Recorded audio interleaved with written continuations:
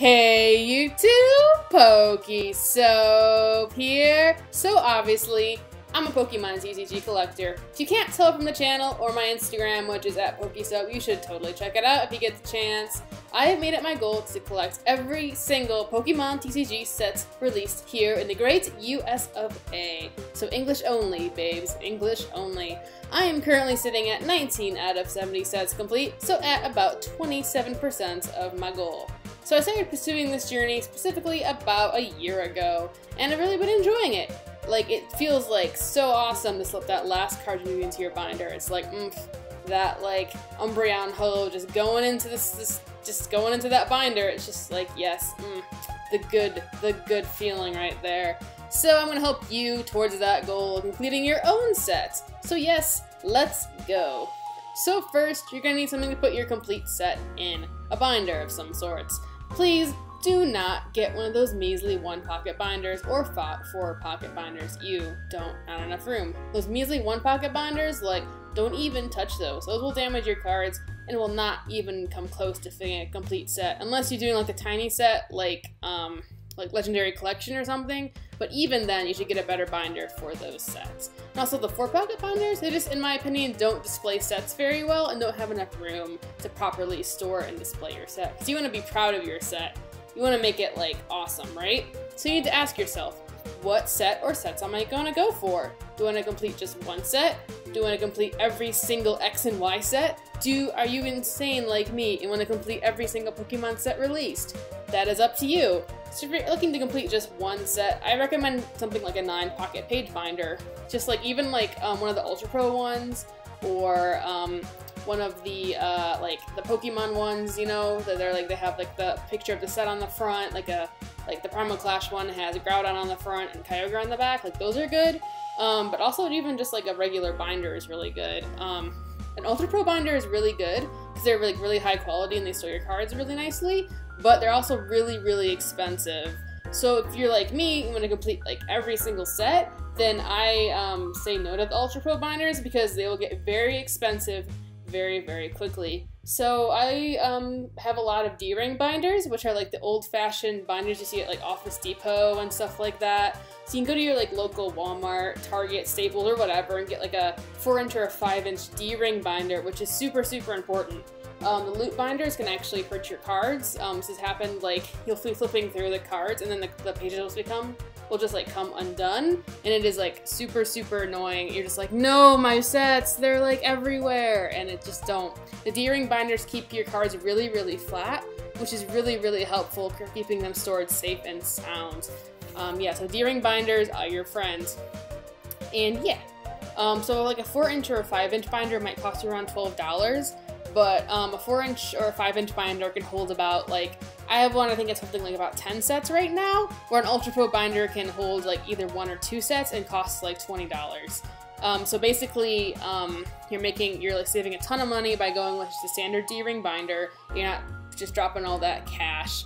And also like for the money you made up you can go buy more Pokemon cards. That's really the goal here right it's just Pokemon cards. Pokemon cards is what we want. Um, and you're like, but how do I actually fill my um, standard D-ring binder? Like, there's no pages. What do I do? Well, you can buy pages for your D-ring binder, like the uh, Ultra Pro 9 pocket pages, which you can find pretty much uh, at Walmart or Target. They're in the card section. Um, they usually come in packs of 25 and they work great for keeping your cards safe and sound. So, um, in addition to just having pages in your binder, it's really good to get sleeves for your um, ultra rare cards and your other really, really rare cards.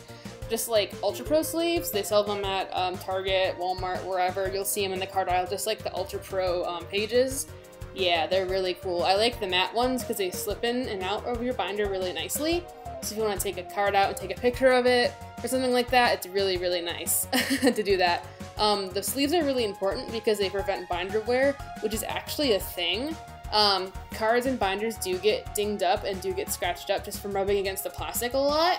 And it's really real. Like if you take your cards in and out of your binders a lot, you'll ding the edges doing that. And it can really like take a card from mint condition to like near mint or lightly played very quickly from just taking it in and out of a binder. So sleeve your EX cards, kids. Sleeve them up and make them nice. So you're right, okay, PokeSoap. You've talked about how to like put your cards and stuff. but I don't have any cards. Like, what do I do? Um, so if you want to get cards and want to complete sets, I recommend first um, keeping yourself focused on one task or focusing on one set at a time because that's really, really important in helping you complete your goal is to stay focused on your goal. So for example, I'm going to complete Ancient Origins because I really, really like Ancient Origins. Fun fact, I have actually completed Ancient Origins. It's a cool set, but I want to complete Ancient Origins again for some reason. I don't know why. So first, I'd find a set list online of that set, which is as easy as Googling Ancient Origin set list. It's just, it'll pop right up. Um, Bulbapedia is a great resource for this. Uh, there's a whole database full of Pokemon cards. Obviously, Bulbapedia has so much information about Pokemon. It's amazing. Um, they'll show you like the Japanese set versus the English set, and also will list all the weird variants of cards in the set, like all the theme deck exclusives and stuff like that, which is really, really helpful. It also shows you the set symbol, which is awesome. Um, if you need like a more visual look at your set and you want to see scans and just images of Pokemon cards so you can like picture your set laid out better in a binder, you can go on um, PokemonCards.com. It's spelled P-A-M-N cards.com. it's like great because you can see all the high quality scans of the Pokemon cards and it's really, really cool. You should check out PokemonCards.com. It's great. I love it so much. Um, so after finding a set list, if you have cards already, I look through and find what Ancient Origin cards I actually have and pull those out from my binder or bulk that I might have lying around. Then go through and check off all the Ancient Origin cards I currently have in my collection. So maybe I have all the common cards from Ancient Origins or all the uncommon cards, just like those will be checked off the list. Don't have to worry about those cards anymore, can lay all the other duplicates aside for trade or whatever.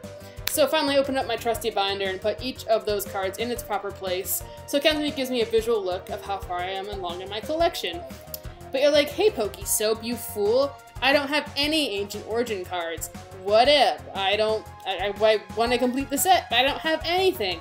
I say look no farther than a booster box. Okay, this varies from set to set. For older sets like base set or the Neo sets, do not buy a booster box, so things will cost you like $2,000 just go with singles. But for something more current, like Ancient Origins, a booster box is a great way to get a jumpstart on collecting that set.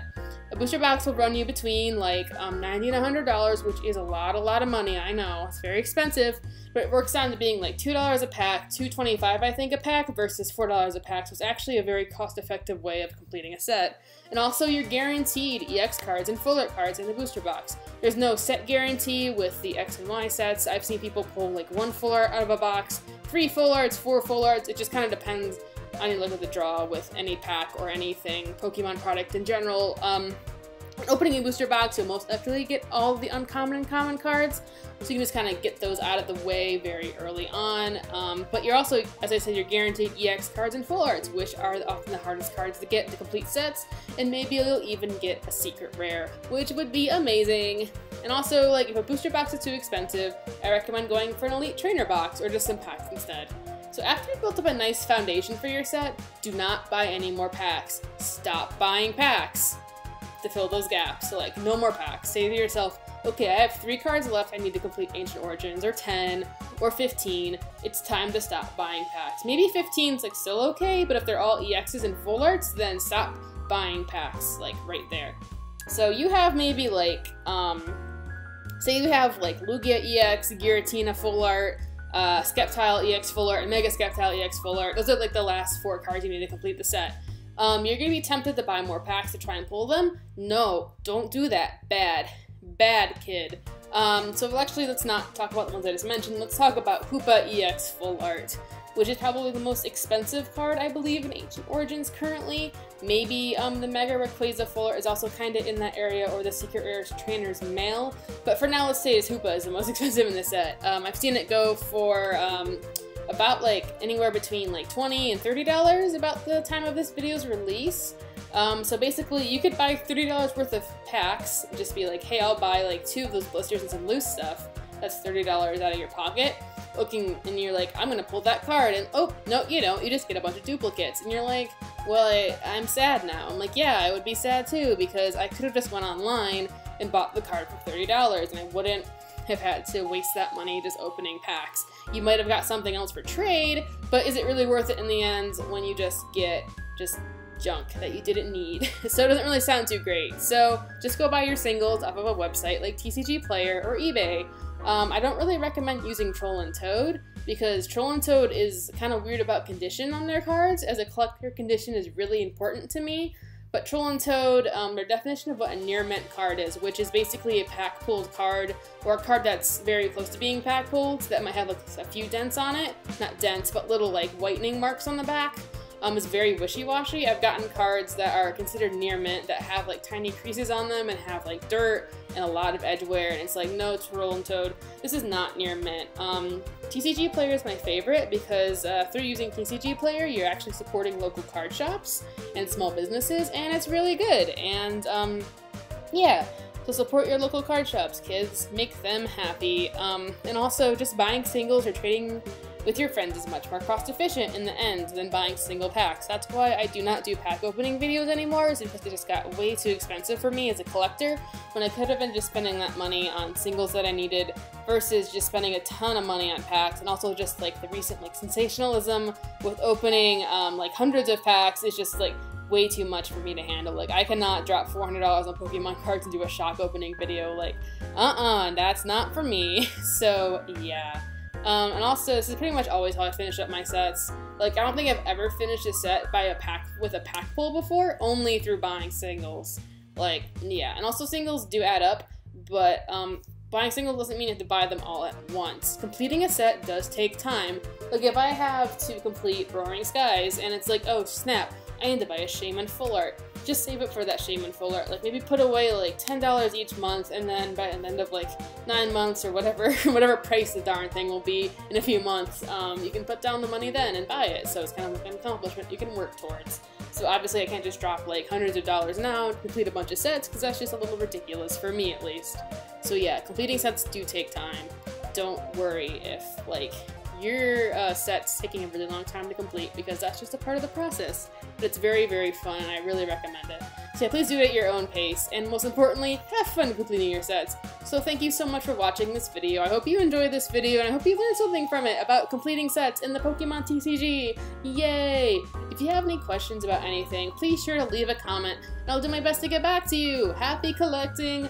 PokeSoapouts, go forth and complete those sets. I believe in you! Boop!